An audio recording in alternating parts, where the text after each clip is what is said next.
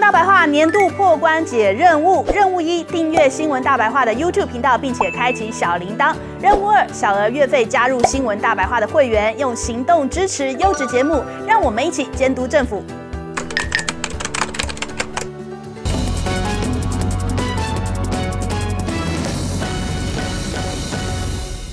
欢迎收看三点钟的新闻大白话，我是代班主持人王尚志。在最近，其实无论在政治圈或者是在影剧圈，都有一些令人感觉到争议十足的消息传出，而共同的状况其实基本上都是什么呢？都是有点所谓的假面被揭穿。就像在上个小时当中，其实盛美所提到的很多的负面形象，或很多明着做的事情，但是呢，可能内幕有不同的角度。我们来看，其实就是在《镜周刊》方面惊爆了瑞莎。瑞莎的假面哇，提到瑞莎都知道，在这几年以来，她是其实是从乌克兰来台湾发展的一位女艺人。那么从模特儿后后面，包括在上通告时，大家对她非常熟悉。然后她也顺利结婚了哈。那么但是这次所踢爆的部分，是因为瑞莎过去在乌克兰的部分其实是体操选手。那么她在几年前当中，包括在综艺节目也不断的表达她对于台湾。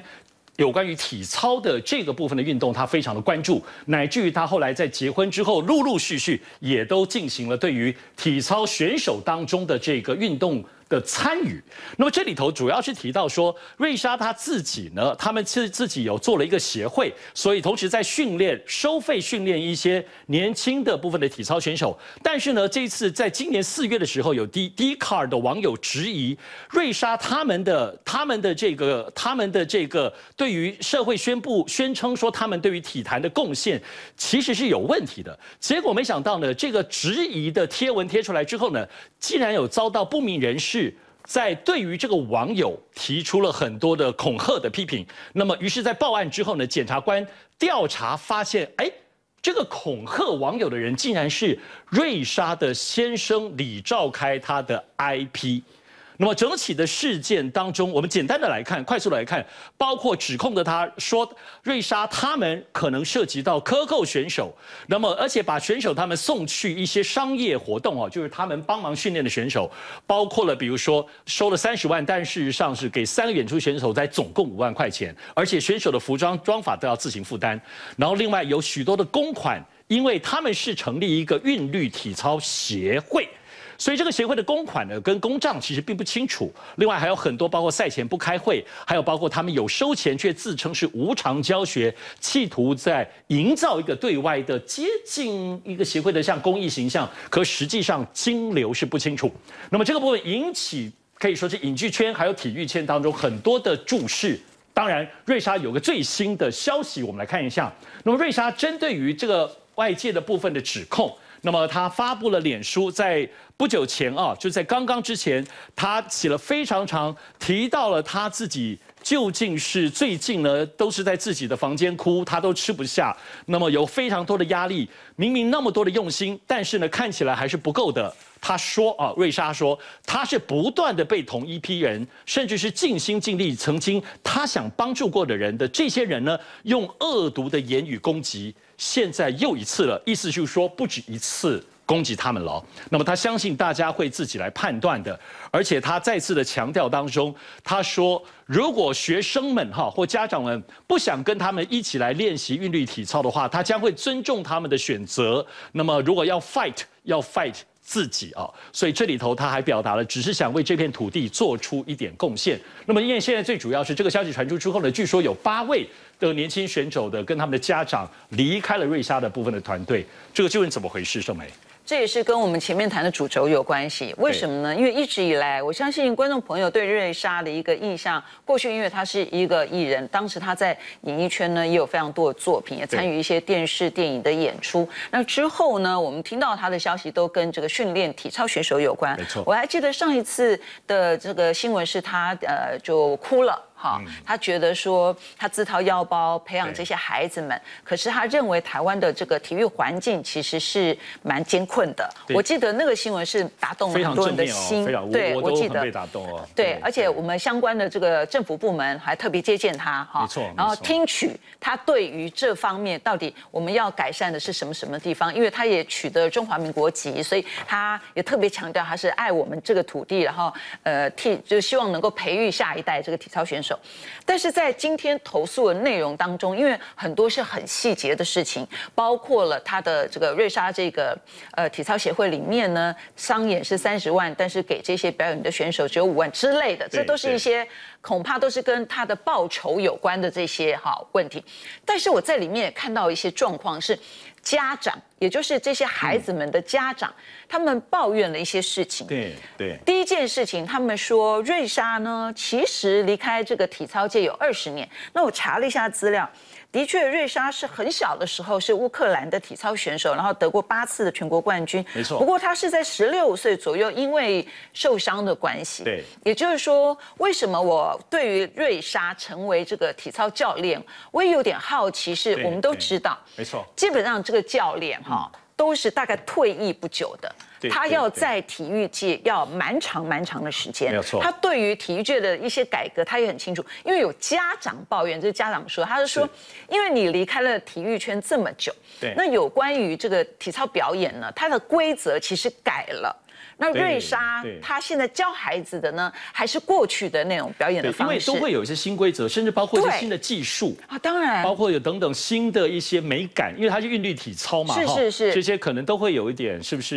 有点落差。当然，因为现在这件事情双方是各说过各话，而且瑞莎已经透过她经纪公司说要提高，要捍卫自己的权益。只是我觉得家长这样的一个控诉，一定有他们的理由嘛，哈。对。那现现在看起来，对，因为瑞莎在台湾，她有蛮长时间。多半其实是在演艺圈哈，跟代言之类有关。然后是这几年他才开始培育这些小选手，所以恐怕家长有一些抱怨，是不是双方没有办法沟通好？这第一件事情。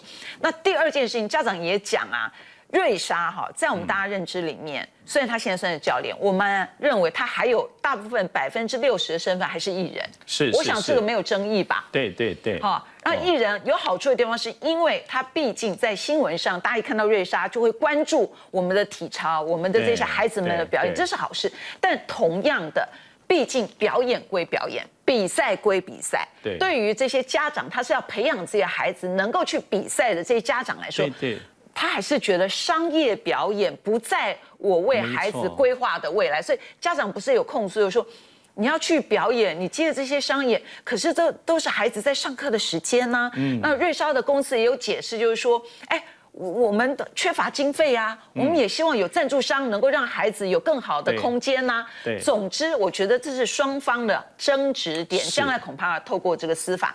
但是我还是要说回来啊，这件事情对瑞莎以及他经纪公司以及他这个所谓体操协会是有很大很大的伤害。是，你前面堆也堆得很高，这我常讲。没错，公众人物常把光环放到最大。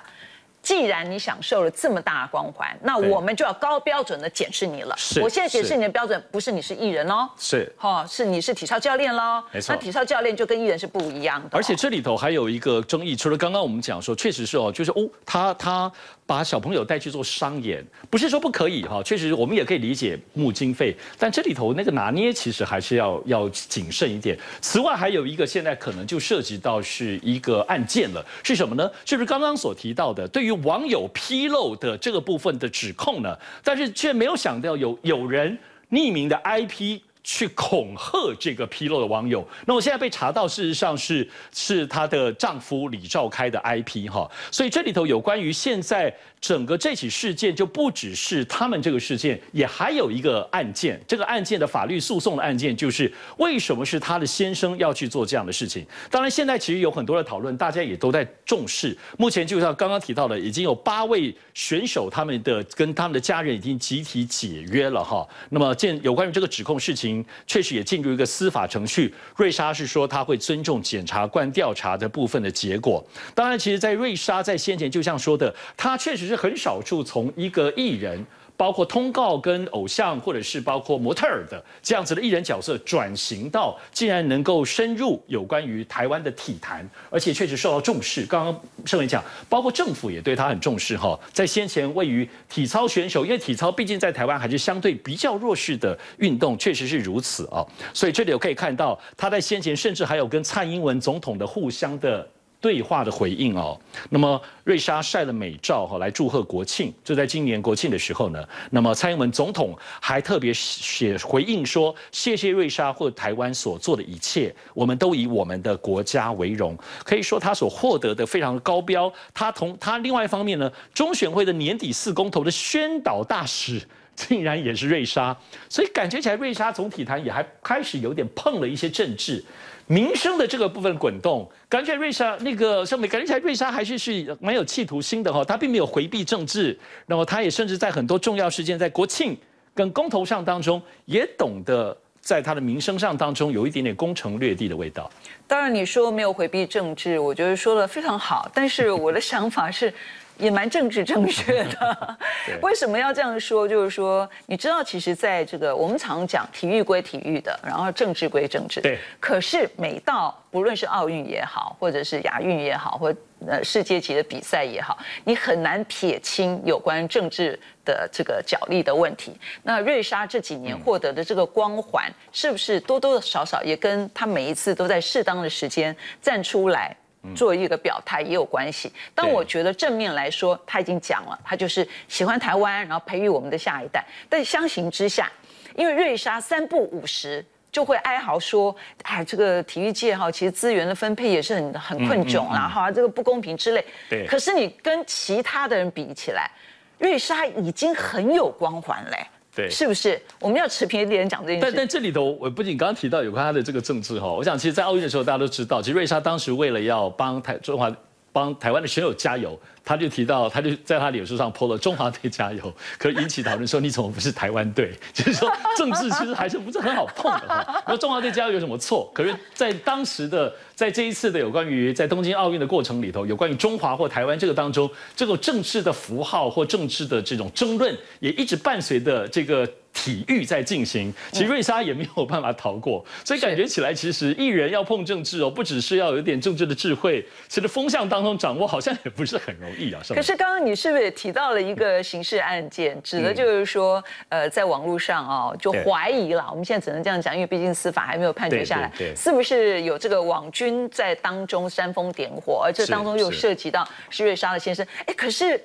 各位，你还记得吗？前面有一波新闻是反过来的，是因为之前有关瑞莎的争议，不是现在才有，是前面几个月就有人控诉说，瑞莎啊，她不是从这从小就培养这些孩子啊，她都是有这些孩子已经有一点一些成就之后就去挖角。各位记不记得挖角那个新闻？对对对对。然后当时因为这些负面争议出来的时候，瑞莎还蛮生气的，她就提告，然后就发现说这些在网络上。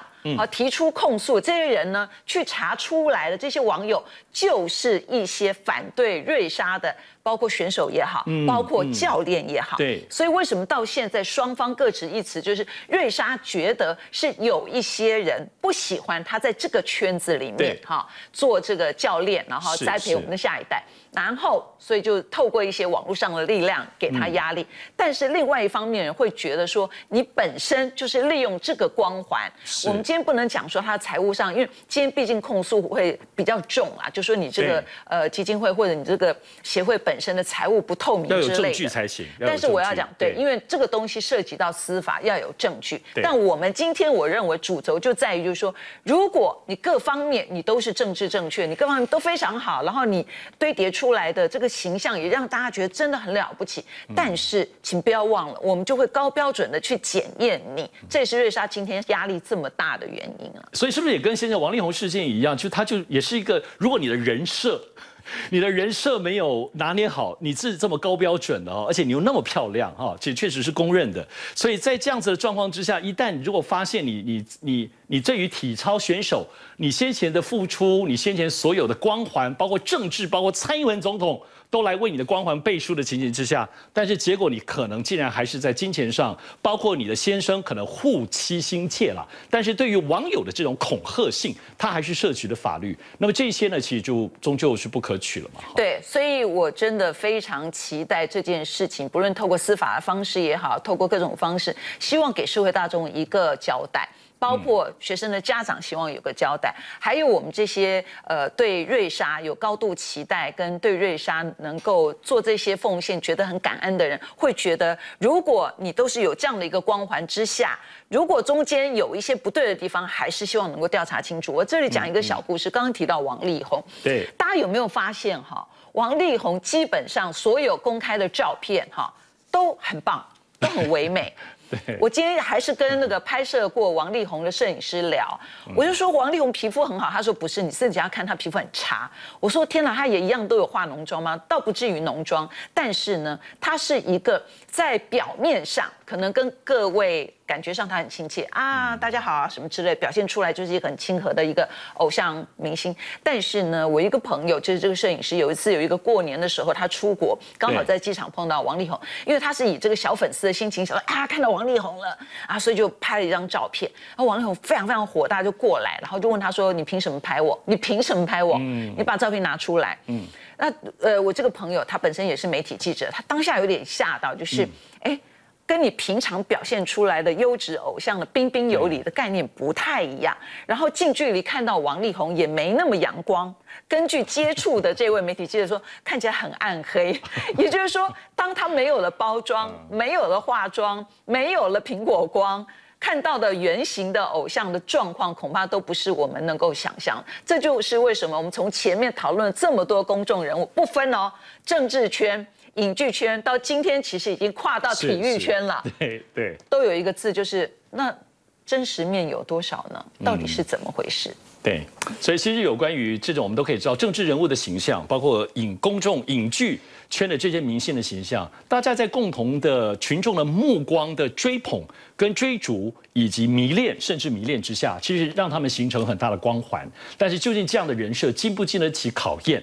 他们的私德、他们私生活，乃至于他们私下的待人处事，究竟有没有可疑之处？那么今天我们刚刚提到瑞莎这个部分，我们呈现提醒各位，这个部分是并不是对瑞莎的批判。刚刚瑞莎她自己的最新消息也说，可能是同一批人一直对她从事运力体操有意见的这些人当中持续的在攻击她，所以双方大家应该要秉持一个公平的角度，继续多了解事实的部分内幕。这里我们特别提醒各位，那么还有更多其。他的政治议题，我们的辉文哥还有我们的宝珍都已经到了，我们稍微休息片刻，再回到新闻大白话。